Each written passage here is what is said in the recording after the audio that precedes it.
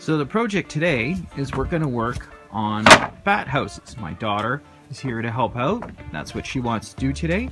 So earlier I cut up some pieces out of spare pieces of plywood and we're going to assemble them to make bat houses. Okay, this is a bat box and they sleep in it during the day and then they come out at nighttime. A lot of people give bats a hard time thinking they're scary and stuff, but Really, they eat the mosquitoes, and for me, when I'm up here at the cabin, that's great. Then I don't have to use uh, toxic insect repellent or other means to get rid of the bugs. So why not go natural and promote um, bats to grow.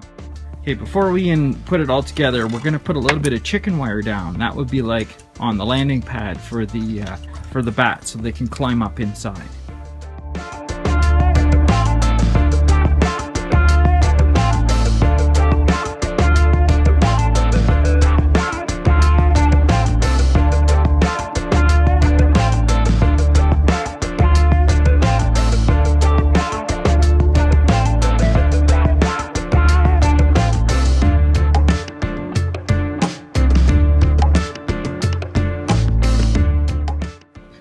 I made a little mistake. The staples were too long here and they came through the other side. Now,